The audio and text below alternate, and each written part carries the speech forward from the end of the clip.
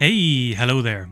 This is going to be an extensive tutorial on how to use the updated version of the Stitch tool.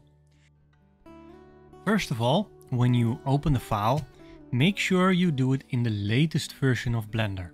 At this point, for this version, uh, my latest version is 4.1.0.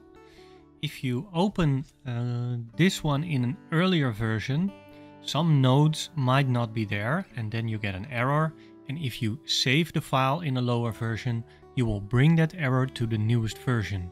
So make sure that if you download this tool, you directly open it in the newest version of Blender, so you don't get any problems. As we can see here, we have a new base mesh, some new colors, some new stitches. The previous versions we had less stitches and now we have a lot more variations that you can use straight out of the box. And we have uh, three different methods. The first method is using a stitch curve that you can draw onto your mesh. The second one is using vertex group, so you select the edge loop on your mesh and that is being converted into a uh, stitch line as you can see here and here. This is the vertex group. If I create another one, group 1, and I select another edge like this one. I assign it and then here I can say group 1 uh, it's called different point. Well let's call this one group 1 and then you can see that it appears. So you have group it's this one and you have group 1 which is this one. So in this way you can easily just add more edge loops to your design. But it you cannot combine easily uh, different stitches and you can do that here. So if I want different stitches here, I can select another stitch and that is going to, to how it works on the uh, vertex group stitches. So the last one is just using a ribbon. So it's also being drawn with the draw tool uh, of a curve and then use the surface projection. So you can draw on your mesh, but this is just, as you can see, a ribbon. It's not real geometry, it's just a, uh, a material on a ribbon. This is real geometry. So here you can see the holes and the stitches are real geometry. So you get correct uh, shadowing and the depth if you look from the side. but if you need just uh, like a simple stitch, you can uh, use this one or project your own stitch or uh, whatever you want onto this ribbon. So these are the three method, methods that you can use. Um, and there are several ways on how you can import them. So as you can see here, I have a new file. Uh, this is uh, the same cushion. If I put it to the side and I go into this file on Windows, you can just select a stitch, then Control C, copy it go to your file, Control V, and then you will have the cushion and the stitch uh, in this file. What you can do on a Mac, if I go back and it's deleted, I can go to File, uh, Append, and if you look on this one, here you see it's RD Stitch Curve. This one is an asset, RD Stitch, stitch Curve 1 or 01. You have to find that one. So if we go to the RD stitches, this is the file. We have to go to objects and then find RD stitch curve. Here we have it, RD stitch curve 1. import it and then here we have more meshes. meshes. Ah, we have imported the simple one. So if we go back again, uh, append, then go into, this is RD simple stitch. We need RD stitch curve. That's the regular one. Then it will import here the stitch curve and the object. If I now delete this one, uh, and here it will look for this uh, model. If I delete it, it all goes into one point because it has nothing to project on. Uh, I have to select my own mesh. So now from this position, uh, if you see my mouse, from this position, this is the curve, it will project to this model. and so it sticks it all to the side. What we have to do is with X, so uh, double A I deselect it, with A I select it, and with X I delete the curves. Now I can go into draw tool again and then surface and then I can draw on my mesh and there the stitches will appear as you can see and then you can change all the parameters here. So that is how it's going to work uh, on this stitch curves. Uh, what we can also do, for example, is if we have this, this curve here, we can also select an edge loop, shift D to copy it. So I have this loop over here. With P, I can uh, isolate the selection. So it becomes a new group here. As you can see, if I turn this off, this is a mesh what I then usually do is go to object, convert to curve. Now it's a curve. And if I select this one first and then with shift, I select the uh, one that I already have, or have to do it the other way around. Like this one has to be selected, has to be orange. This one is red. And then with Control J, I combine them. And now you see that like the curve that I selected and the curve that I've drawn, I can still draw, uh, is one thing. And now it has all the same parameters as the one that I imported. So this way I can easily just take a uh, edge loop and then change it and uh, uh give it a different stitch like this uh, and apply it to your model. So if we delete this one, and we go into the other file.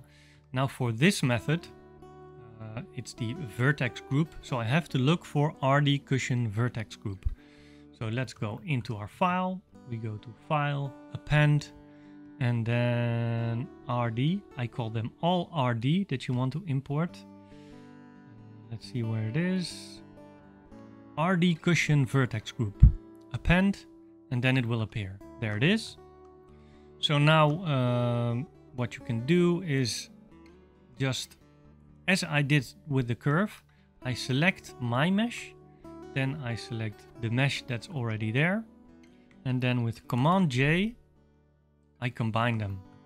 Now it takes some time, and now all the uh, there's already a group on here, so it combined the groups, uh, and it puts all these stitches on the group as uh, that was already there.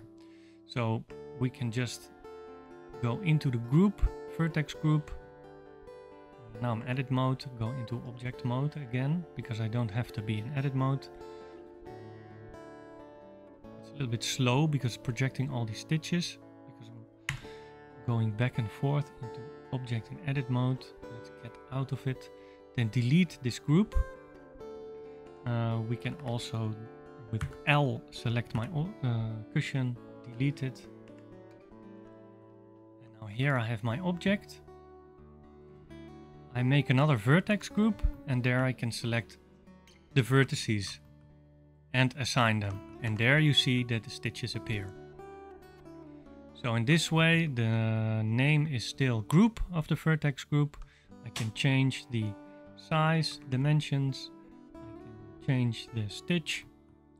And this way uh, by combining them, uh, what you could also do is just go into geometry nodes and then select the RD vertex node group.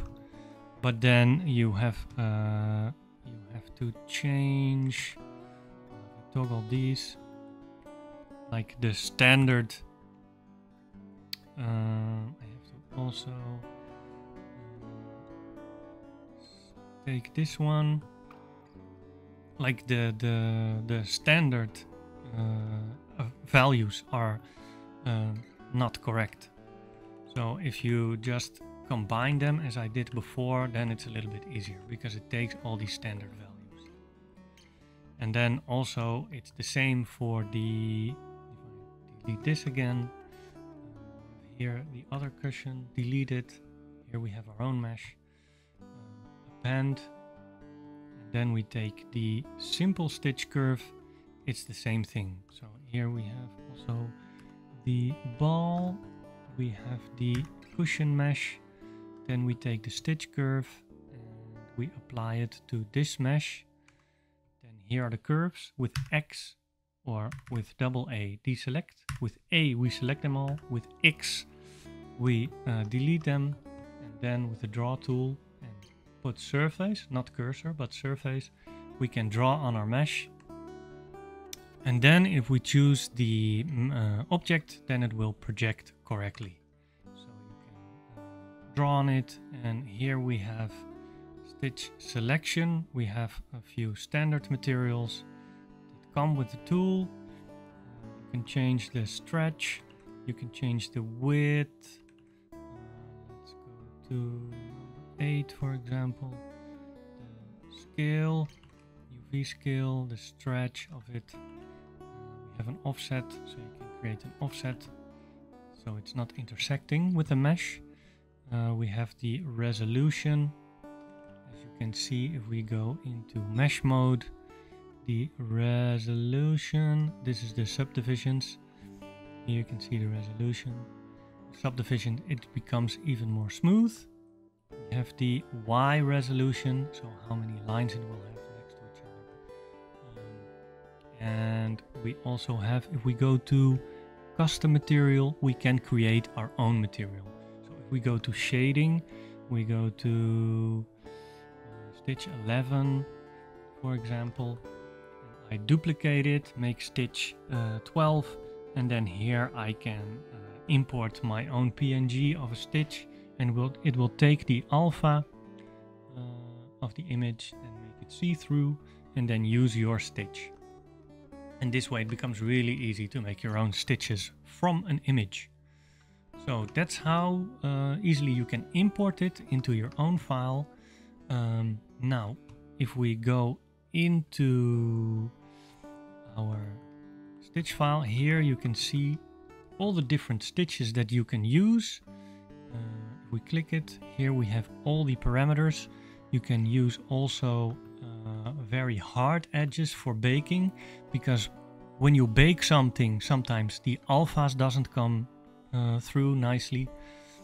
Um, also if we zoom in onto one of the stitches this is like a closed shape. We can open the shape. Now you can slightly see it over here uh, if you want to take all the stitches and unwrap them yourself um, you can also do that. You can reverse uh, the curve. You also can trim it, which means you can animate it, that it appears out of nowhere. Um, we also have now a separate uh, uh, the seam by distance.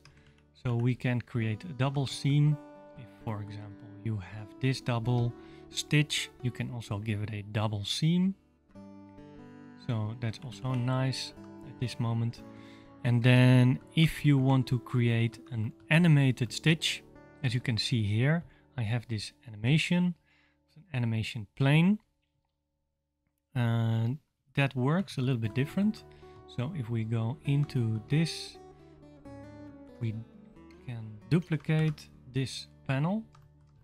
I animated this panel with a geometry nodes group, I turn that one off and also the solidify, solidify for a moment. Then what I can do is I can grab this stitch and then move it over here. You see it by the origin.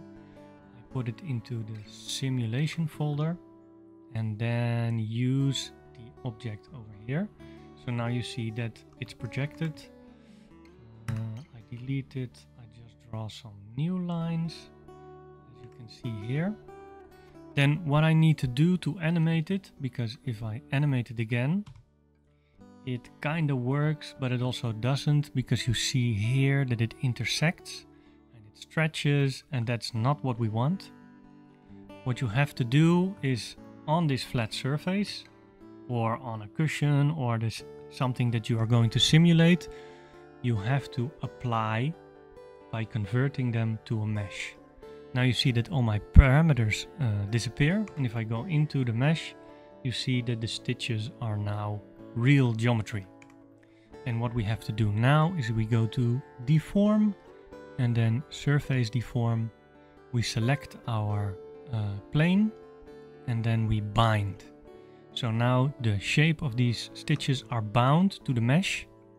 And if we go into our uh, plane shape, we solidify it again. So it looks a bit like textile. And we apply the animation. And if we play it now, we see that it warps correct. And there's no intersections anymore and no stretching of the stitches. So this way you can now start uh, a real simulation or just a geometry nodes animation which by the surface deforms. So this way you can use it uh, or maybe on an armature or character or whatever you want. So if I delete these, the uh, example here you can see uh, the stitches with the surface deform on them. And here the geometry node wave animation are over here. So you can have a look. And these are the three methods that you can use another thing you can do is also change the materials. So if you click one of the st stitches you go in. Here you see the um, creases. We also have um, or it's actually the seam.